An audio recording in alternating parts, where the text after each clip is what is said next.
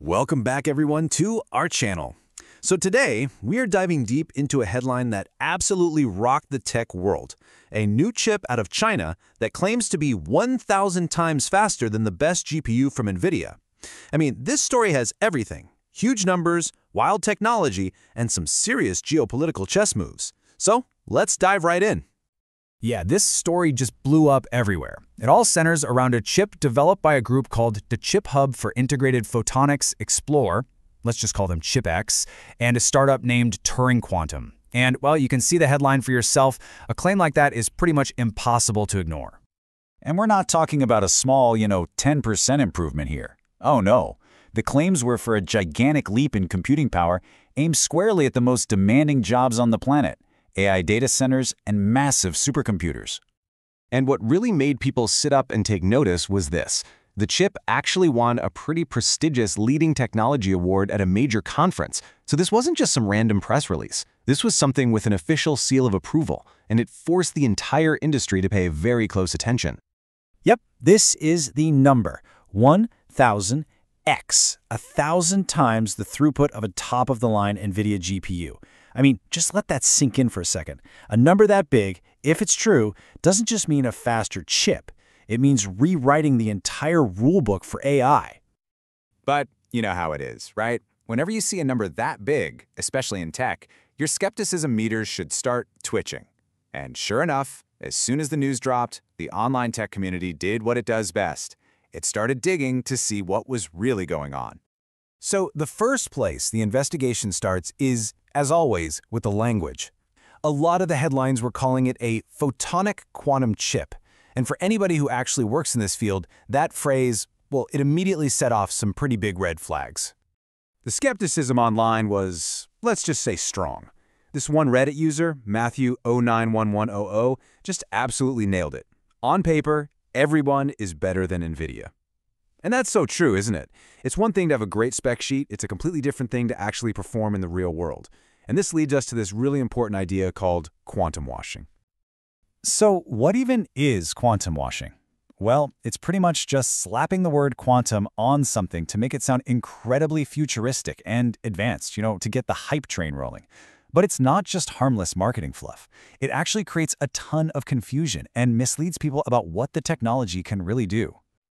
Okay, and this table right here cuts through all the noise. Let's be crystal clear. The chip that made all the headlines is not a quantum computer. It doesn't use qubits, it doesn't use entanglement, it's a classical photonic processor. Now, that is still an incredible piece of tech, but it's a fundamentally different thing. All right, so if we strip away the whole quantum hype, what are we actually left with? What's the real breakthrough? Well, the real story here is, in my opinion, even more interesting. It's all about mastering the use of light on a microchip. This is the key a photonic integrated circuit, or PIC for short. The easiest way to picture it is like a normal electronic chip, but instead of pushing electrons through copper wires, you're steering photons, particles of light, through tiny little optical channels. And the benefits are massive, because light travels incredibly fast and generates way, way less heat. And this is where we get to the actual engineering miracle. What the teams at ChipX and Turing Quantum managed to do was cram over a thousand of these optical components onto a single chip, right next to all the necessary electronics. And this is the really big deal. They figured out how to make it programmable and mass produce it. That last part has been the holy grail in this field for years. So, why does all this effort matter so much? Two words. Energy efficiency. I mean, you've seen how massive AI models are getting. They are absolute power hogs. We're talking about a serious energy consumption problem for the whole industry. So a chip that is potentially 100 times more efficient? That isn't just a small improvement, that's a game changer. And this is where the story pivots, because this isn't just about a cool piece of tech in a lab. Oh no, this breakthrough opens up a completely new front in the global battle for technological supremacy. This quote here from Chen Wenling really spells out the whole strategy. The goal is to change lanes and overtake. For years, the US-China chip war has been all about who can build the absolute smallest silicon transistors. But photonics, that's a completely different racetrack. So here's how this change lane strategy works. It's actually kind of brilliant. Step 1. The blockade. The US stops China from getting the most advanced chip-making machines, right? Step 2. The sidestep. Turns out these photonic chips don't need that super advanced equipment. They can be made with older tech that China already has. Which leads to step three, the overtake. By pivoting to photonics, they can potentially build world-class AI chips and just drive right around the sanctions. So, let's zoom out for a second. What this all really signals is that the future of computing isn't just about one type of chip getting smaller and faster forever. No, the future is going to be a whole ecosystem of different, specialized processors, each built for a specific job. And this chart kind of shows you what that future looks like. You've got your traditional silicon chips, they're the workhorses, they're not going anywhere. But now you have these other players entering the game. You've got analog coming back for efficiency, you've got photonics for pure speed, and then way, way out on the horizon, you have true quantum computing for problems we can't even solve today. It's all about using the right tool for the right job.